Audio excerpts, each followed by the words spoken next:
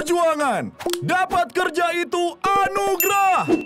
Tapi kalau salah langkah bisa jadi musibah. Pilih laptop dengan Windows asli.